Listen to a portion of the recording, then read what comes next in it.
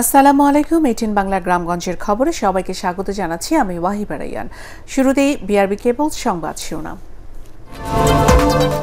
দেশে করোনা ভাইরাসে আরও ছিচল্লিশ জনের মৃত্যু, নতুন করে শনাক্ত দুই হাজার দুশো পঁয়ষট্টি জন। দক্ষিণাঞ্চলে বন্যা পরিস্থিতির অবনতি, টাঙ্গাইলে আঠারো হাজার হেক্টর জমির ফসল নষ্ট, একশো একচল্লিশ কোটি টাকার ক্ষতি। ঢাকা সিটি কর্পোরেশনের ময়লা পুড়িয়ে খুব শীঘ্রই বিদ্যুৎ উৎপাদন করা হবে বললেন স্থানীয় সরকার মন্ত্রী। শুনছিলেন বিআরবি কেবল সংবাদ শোনা এবারে বিস্তারিত। দেশে করোনা ভাইরাসে আক্রান্ত হয়ে গত চব্বিশ ঘন্টায় আরও ছেচল্লিশ জনের মৃত্যু হয়েছে। এ নিয়ে মোট মৃতের সংখ্যা বেড়ে দাঁড়াল তিন হাজার নয়শো সাত জনে। সর্বশেষ একদিনে এগারো হাজার তিনশো পঁয়ষট্টিটি নমুনা পরীক্ষায় নতুন করে দুই হাজার দুশো পঁয়ষট্টি জনের করোনা শনাক্ত হয়েছে। শনাক্তের হার উনিশ দশমিক পঁচানব্বই ভাগ। এই নিয়ে দেশে মোট করোনা আক্রান্ত হয়েছেন দুই লাখ বিরানব্বই হাজার ছয়শো পঁচিশ জন। স্বাস্থ্য অধিদপ্তরের সংবাদ বিজ্ঞপ্তিতে এসব তথ্য জানানো হয়। গত চব্বিশ ঘন্টায় সুস্থ হয়েছেন দুই হাজার নয়শো বাহান্ন জন। এই পর্যন্ত সুস্থ হয়েছেন, এক লাখ পঁচাত্তর হাজার পাঁচশো সাতষট্টি জন। শনাক্ত বিবেচনায় সুস্থতার হার ষাট ভাগ। মৃতদের মধ্যে ছত্রিশ জন পুরুষ ও দশ জন নারী। চব্বিশ ঘন্টায় ঢাকা বিভাগে সবচেয়ে বেশি সাতাশ ও রাজশাহীতে আটজন মারা যান।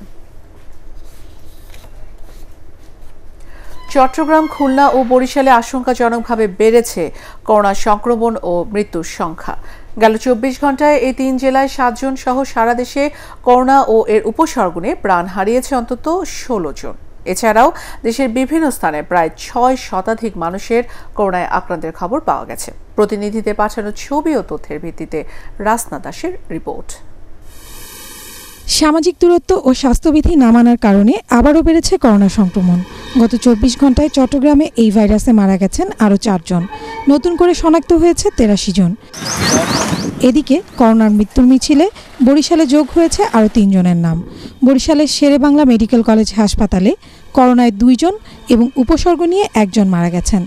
এছাড়া বরিশাল বিভাগের ছয় জেলায় নতুন করে আক্রান্ত হয়েছেন ডাক্তার, নার্স, পুলিশ সহ বাহাত্তর জন। চব্বিশ ঘন্টায় বগুড়ায় করোনায় আক্রান্ত হয়ে আরও চারজন মারা গেছেন।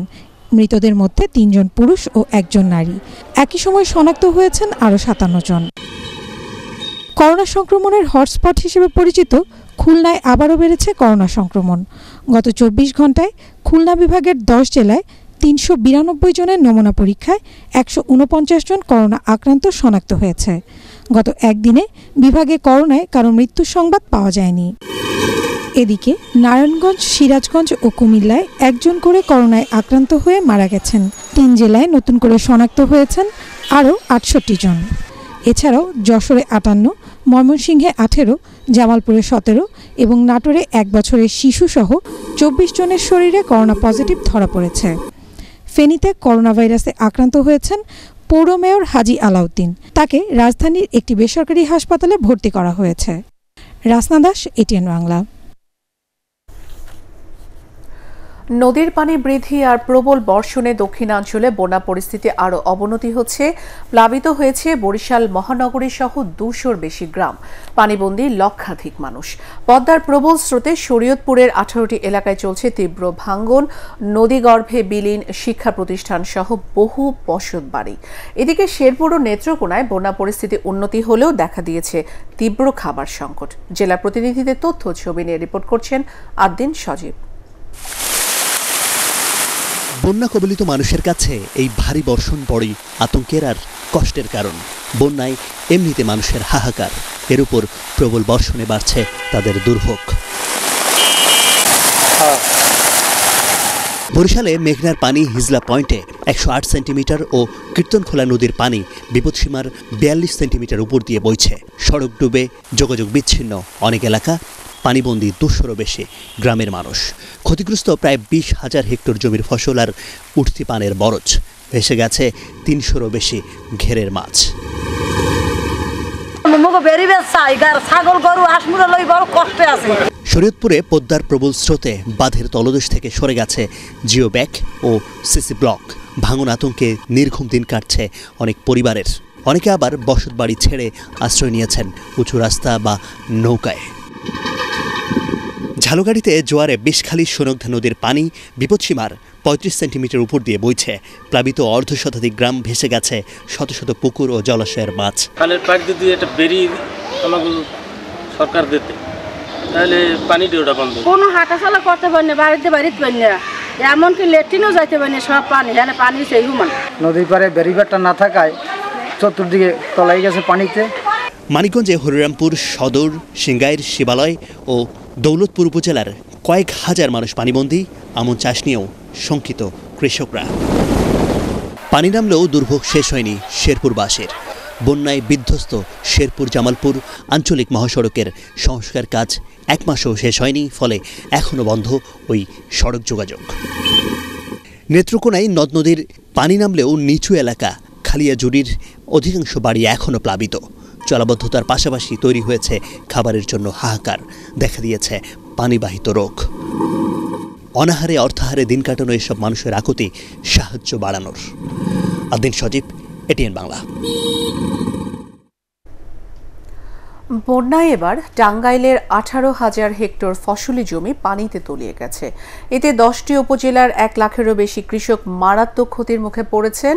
আমন, আউশ, পাট, ভুট্টা, বীজতলা ও শাকসবজি সহ প্রায় দেড়শো কোটি টাকার ফসল নষ্ট হয়েছে। টাঙ্গাইল থেকে নাসির উদ্দিনের রিপোর্ট জানাচ্ছেন কেরামতুল্লাহ বিপ্লব। দুই দফা বন্যায় এবার টাঙ্গাইলের বারো উপজেলার দশটি প্লাবিত হয়। এতে তলিয়ে গেছে আঠারো হাজার একশো ছাব্বিশ হেক্টর আবাদি জমি। বন্যা দীর্ঘস্থায়ী হওয়ায় এবার পুরোপুরি নষ্ট হয়েছে এসব জমির ফসল। পাশাপাশি নদী ভাঙনেও চরম বিপাকে পড়েছেন কৃষকরা। ধান, পাট, তিল, আখ, লেবু, বেগুন সহ বিভিন্ন ধরনের ফসল হারিয়ে হতাশ তারা। আমি তো ভুট্টা বুনছিলাম পাঁচ পাঁচ আমি যে আবাদ করছি সবটাই আমাদের শেষ। সবজি বুনছিলাম ভুট্টা বুনছিলাম সব এই বন্যায় ক্ষতি হয়ে গেছে। আবাদ যা করছিলেন সব বন্যায় গেছে গা দুইয়ে। কিছু আবাদ করছি জমি তো অল্প একটু জমি। আবাদ করছি সেগুলো সব তলে গেছে। আমি তো গরিব মানুষ অসহায়। ফসল সমস্ত কিছু তলিয়ে গেছে। আমরা অনেক অসহায় অবস্থায় আছি। সরকার যদি আমাদের সহযোগিতা করে তাহলে আমরা ভালোভাবে চলতে পারব। জেলা কৃষি সম্প্রসারণ অধিদপ্তরের দেওয়া হিসেব অনুযায়ী এবারের বন্যায় এক লাখ সাত হাজার তিনশো একানব্বই জন কৃষকের প্রায় একশো একচল্লিশ কোটি পঁচিশ লাখ টাকার ফসলের ক্ষতি হয়েছে জেলায়। তবে কৃষকদের বন্যার ক্ষতি পুষিয়ে নিতে সরকারি উদ্যোগ শুরু হয়েছে বলে জানান এই কর্মকর্তা। কৃষি সম্প্রসারণ অধিদপ্তরের উপর কৃষি কর্মকর্তা সহ উপজেলা কৃষি অফিসের সবাই সার্বক্ষণিক এই বিষয়টা তদারকি করছেন এবং তারা কৃষকদের পাশে সার্বক্ষণিক আছে কৃষকের যে আর্থিক ক্ষতিগুলো তারা হয়ে গেল সেই ক্ষতিটাকে আমরা তুষার উঠতে পারব ঠিক সময়ে প্রকৃত কৃষকরা সরকারি এসব সহায়তা পেলে বন্যার এই ভয়াল ক্ষতি অনেকটাই কাটিয়ে ওঠা সম্ভব হবে বলেও মনে করছেন কৃষকরা। Bureau report ATN Bangla Dhaka city কর্পোরেশনের ময়লা পুড়িয়ে খুব শীঘ্রই বিদ্যুৎ উৎপাদন করা হবে বলে জানিয়েছেন স্থানীয় সরকার, পল্লী উন্নয়ন ও সমবায় মন্ত্রী তাজুল ইসলাম। দুপুরে সাভারের আমিনবাজার এলাকায় ঢাকা উত্তর সিটি কর্পোরেশনের আমিনবাজার স্যানিটারি ল্যান্ডফিল পরিদর্শন শেষে তিনি একথা জানান। এ সময় তিনি আরও বলেন, আমিনবাজারের ময়লা পুড়িয়ে বিদ্যুৎ উৎপাদন করতে প্রায় আঠারো মাস সময় লাগতে পারে আর সেখানে প্রতিদিন প্রায় ছত্রিশ মেগাওয়াট বিদ্যুৎ উৎপাদিত হবে। ঢাকা উত্তর সিটি কর্পোরেশনের মেয়র আতিকুল ইসলাম, চিফ বর্জ্য ব্যবস্থাপক কমোডর এম সাইদুর রহমান ও প্রধান প্রকৌশলী ব্রিগেডিয়ার জেনারেল আমিরুল ইসলাম এ সময় উপস্থিত ছিলেন। ইনসিনারেট করা হবে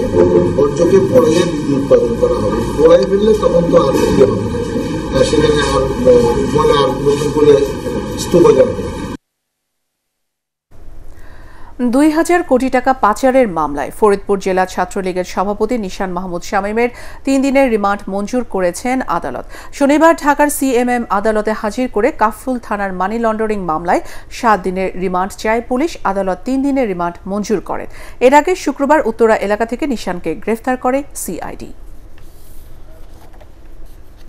অবসরপ্রাপ্ত মেজর সিনহা মোহাম্মদ রাশেদ হত্যা মামলায় এপিবিএন এর তিন সদস্যকে সাত দিনের রিমান্ডে নিয়েছে র্যাব। সকালে কক্সবাজারের জেলা কারাগার থেকে তাদের র্যাব কার্যালয়ে আনা হয়। পুলিশের তিন সদস্য হলেন সাব ইন্সপেক্টর শাহজাহান এবং কনস্টেবল রাজীব ও আবদুল্লাহ। গত একত্রিশ জুলাই রাতে অবসরপ্রাপ্ত মেজর সিনহাকে গুলি করার সময় টেকনাফের বাহারছড়া এপিবিএন চেকপোস্টের দায়িত্ব পালন করছিলেন তারা। গত আঠারো আগস্ট আসামিদের এই রিমান্ড মঞ্জুর করেন টেকনাফের senior judicial magistrate Tamanna Faraha. এর আগে গ্রেফতার তিনজনকেই সাময়িক বরখাস্ত করে এপিবিএন। কক্সবাজার র্যাব পনেরো কার্যালয়ে পঞ্চম দিনের মতো চলছে সিনহা হত্যা মামলার প্রধান তিন আসামি। বরখাস্তকৃত ওসি প্রদীপ কুমার দাস, ইন্সপেক্টর লিয়াকত আলী ও এসআই নন্দ দুলাল রক্ষিতের রিমান্ড। এদিকে সিনহাকে গুলি করা ইন্সপেক্টর লিয়াকাতের পিস্তলটি আলামত হিসেবে গ্রহণ করেছে র্যাবের তদন্তকারীরা। লকডাউনের মধ্যে প্রবাসী শ্রমিকদের সাথে মালয়েশিয়ার অমানবিক আচরণ নিয়ে আল জাজিরাকে দেয়া রায়হান কবির দেশে ফিরেছেন। মধ্যরাতে কুয়ালালামপুর থেকে ঢাকায় ফেরেন তিনি। গত একত্রিশ জুলাই আল জাজিরার ওয়ান জিরো ওয়ান ইস্ট অনুষ্ঠানে এক প্রতিবেদনে সাক্ষাৎকার দেন রায়হান। সেখানে লকডাউনের মধ্যে মালয়েশিয়ার অবৈধ অভিবাসীদের সঙ্গে সরকারি সংস্থার নিপীড়ন নিয়ে কথা বলেছিলেন তিনি। এর প্রতিক্রিয়ায় ওয়ার্ক পারমিট বাতিলের পর গত চব্বিশ জুলাই তাকে গ্রেফতার করা হয়। ঘটনাটি বিশ্ব গণমাধ্যমে তুমুল আলোচিত হয়। দেশে ফিরেই রাতে রায়হান কবি নারায়ণগঞ্জে নিজের বাড়িতে পৌঁছান পরিবারের সদস্যরা। তাকে পেয়ে আবেগ আপ্লুত হয়ে পড়ে। মালয়েশিয়া পুলিশের হাত থেকে মুক্তির আন্দোলনে ভূমিকা রাখায় দেশি বিদেশি সাংবাদিক ও অভিবাসী সংগঠনগুলোর প্রতি কৃতজ্ঞতা জানান তিনি। পানির চরম সংকটের মধ্য দিয়ে চলছে বরিশাল শেরে বাংলা মেডিকেল কলেজ হাসপাতালের কার্যক্রম। অনেক ওয়ার্ডে বিশ দিন ধরে পানির সরবরাহ বন্ধ রয়েছে। অনেক ওয়ার্ডে পানি মিললেও তা ব্যবহারের অনুপযোগী, ময়লা, লবণাক্ত আর লালচে। ফলে চরম দুর্ভোগে রোগী তাদের স্বজন ও হাসপাতালে চিকিৎসক ও কর্মীরা। এ বিষয়ে দ্রুত ব্যবস্থা নেওয়ার কথা বলা হলেও মন্ত্রণালয়ের কাছে নতুন নলকূপ বরাদ্দ চাওয়ার কথা জানিয়েছে গণপূর্ত বিভাগ।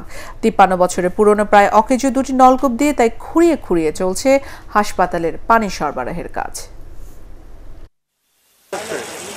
পানি জায়গা থাকে না আনি। পানি খেতে লাগা পারি না লাগে হ্যান্ডে প্যানেলের কিনে খাওয়া লাগে। দক্ষিণাঞ্চলের সর্ববৃহৎ হাসপাতাল দিতে। যদি পানির সমস্যা থেকেই যায় তাহলে কর্তৃপক্ষ এর জবাব দিবেন কার কাছে? মেশিনটা যদি নষ্ট হওয়ার সাথে সাথে যদি এটা যদি সারা যেত তাহলে কিন্তু এই সমস্যাটা হতো না। এখন লবণ পানিটা আসাটা আর আমাদের চিন্তার ব্যাপার হচ্ছে যে বরিশালে তো লবণের জায়গা না। টিউবওয়েলগুলো বাউন্ন বছরের পুরাতন টিউবওয়েল। এই মুহূর্তে আমরা এই এটার একটি আহ, প্রাক্কলন করেছি যে নতুন একটি ছয় ইঞ্চি টিউবওয়েল যদি আমরা করতে চাই বারো ইঞ্চি হাউজিং দিয়ে তাহলে প্রায় বাষট্টি লক্ষ টাকা অর্থের বরাদ্দের প্রয়োজন হবে। তো এই অর্থ বরাদ্দের জন্য আমরা স্বাস্থ্য মন্ত্রণালয়ের পত্র এবং প্রাক্কলন সহ প্রেরণ করেছি। দেশের উন্নয়ন বাধাগ্রস্ত করতে স্বাধীনতা বিরোধী শক্তি ষড়যন্ত্রে লিপ্ত রয়েছে বলে অভিযোগ করেছেন পরিকল্পনা মন্ত্রী এম এ মান্নান। একুশ আগস্ট গ্রেনেড হামলায় নিহতদের স্মরণে সুনামগঞ্জ জেলা আওয়ামী লীগের উদ্যোগে শিল্পকলা একাডেমি মিলনায়তনে অনুষ্ঠিত আলোচনা সভা ও দোয়া মাহফিলে ভিডিও কনফারেন্সে তিনি একথা বলেন। জেলা আওয়ামী লীগের সভাপতি মতিউর রহমান সহ সভাপতি সংসদ সদস্য মুহিবুর রহমান মানিক ও সাধারণ সম্পাদক ব্যারিস্টার এম এনামুর কবির ইনাম সহ অন্যান্য নেতারা অনুষ্ঠানে বক্তব্য রাখেন।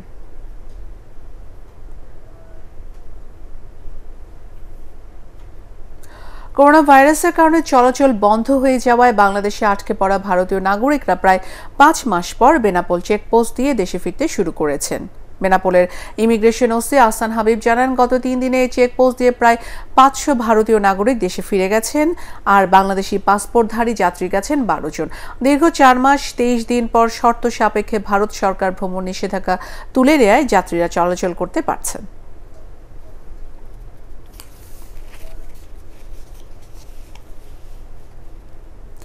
বেনাপোল স্থলবন্দরে পণ্য জোট ভয়াবহ আকার ধারণ করেছে। করোনা মহামারীর কারণে দীর্ঘদিন বন্দরে কার্যক্রম বন্ধ থাকার পর হঠাৎ করে আমদানি বাড়ায় এ অবস্থা তৈরি হয়েছে। এছাড়া ঈদের সময় ট্রাক চলাচলের সরকারি বিধিনিষেধ, বর্ষা ও ফেরিঘাটের অবস্থা খারাপ হওয়ায় ব্যবসায়ীরা বন্দর থেকে মালপত্র খালাস না করায় পণ্য জোট বেড়েছে।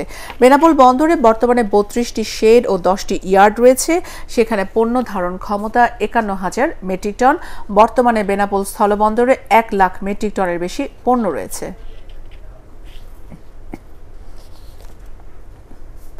ফরিদপুরের মধুখালীর কোরকদি উচ্চ বিদ্যালয়ের শিক্ষার্থী মিলি দেবনাথকে উদ্ধারের উদ্ধারের দাবিতে মানববন্ধন কর্মসূচি পালন করেছে স্থানীয়রা। দুপুরে মধুখালীর কোরকদি ইউনিয়নের বাসপুর এলাকায় এ মানববন্ধন করা হয়। মানববন্ধন চলাকালে অপহৃত মিলি দেবনাথের বাবা শ্যামল দেবনাথ ও মা মিনতি রানী সহ অন্যান্যরা বক্তব্য রাখেন। গত চার আগস্ট বাড়ি থেকে বের হয়ে স্থানীয় বাজারে যাওয়ার পথে মিলিকে অপহরণ করে দুর্বৃত্তরা।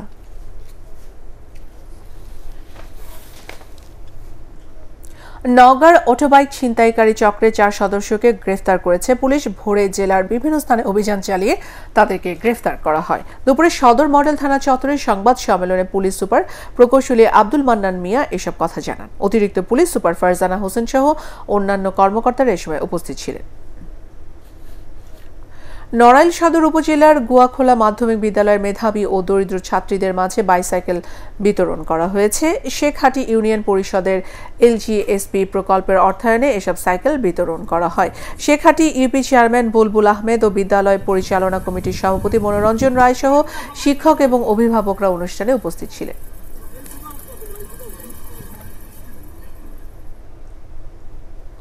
টাঙ্গাইলের দেলদুয়ার উপজেলার পাথরাইল ইউনিয়নের কুমুরিয়া অনুষ্ঠিত হল ডিঙ্গি নৌকা বাইশ প্রতিযোগিতা। শুক্রবার বিকেলে কুমুরিয়া গ্রামবাসীর উদ্যোগে লৌহজং নদীতে এই প্রতিযোগিতা অনুষ্ঠিত হয়। আশেপাশের এলাকা থেকে মোট চল্লিশটি ডিঙ্গি নৌকা এতে অংশ নেয়। পরে বিজয়ীদের মাঝে পুরস্কার বিতরণ করা হয়। পরবর্তী সংবাদ দেখার আমন্ত্রণ জানিয়ে এখনকার মতো শেষ করছি। করোনা ভাইরাস থেকে নিজেকে সুরক্ষিত রাখতে মাস্ক পরুন, বারবার হাত পরিষ্কার করুন। এটির বাংলা সংবাদ। ইউটিউবে দেখতে ব্রাউজ করুন, YouTube slash ATN Bangla news ধন্যবাদ।